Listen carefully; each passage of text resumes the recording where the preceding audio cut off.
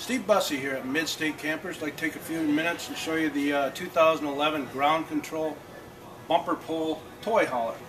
It's a uh, 22 footer, uh, aluminum sided. It's got the outside speakers, large patio awning, good looking aluminum wheels here.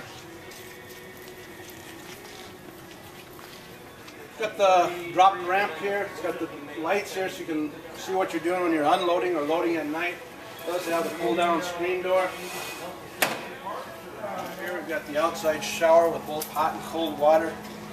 You Get a quick hookup if you want to spray off your four-wheeler or whatever you're hauling. Uh, black tank flush. Place to store your sewer, sewer hose. And then a nice little storage area here.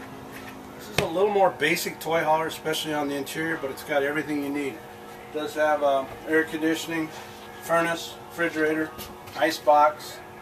Uh, refrigerator works on both gas and electric. You can put a television up here, your plugins are all here. Good storage both sides. uh, kitchen, you've got a microwave, two burner cooktop, high rise faucet, and a nice little bathroom.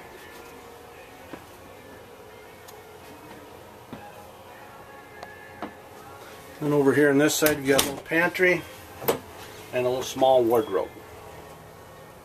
Both of the sofas flip up so you can bring in your four-wheelers. Table is foldable so it folds up out of the way. Uh, this is pretty simple here to make into a bed. And then you also have the overhead bed here. I'll show you that Hold one. And then instead of having the uh, mini blinds here, they're going to get goofed up when the, you drop the ramp and the wind's blowing. Just have the vinyl covers here that work really slick for privacy. And you got a queen bed right here. That's the uh, 2011 Ground Control 22F.